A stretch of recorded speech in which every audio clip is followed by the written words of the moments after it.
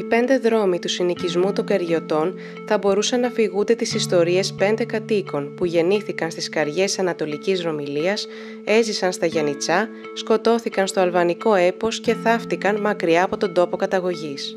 Ο Μπεκιάρης Γεώργιος γεννήθηκε το 1906 στις καριές Ανατολικής Ρωμιλίας.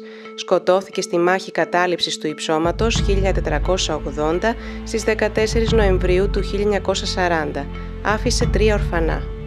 Ο Ιωάννης Πουλιούδης γεννήθηκε το 1911 στις καριές Ανατολικής Ρωμιλίας. Σκοτώθηκε κατά τη μάχη για την κατάληψη του υψώματος τρία αυγά. Άφησε ορφανό τον νεογέννητο γιο του. Ο Τορολόζης Δημήτριος γεννήθηκε το 1918 στις καριές Ανατολικής Ρωμιλίας. Σκοτώθηκε στη μάχη για την κατάληψη του υψώματος 1736. Η μητέρα του, κατά την καριώτικη συνήθεια, άπλωσε το γαμπριάτικο κουστούμι στο κρεβάτι και μυρολόγησε ασπαζόμενη τον απόντα νεκρό.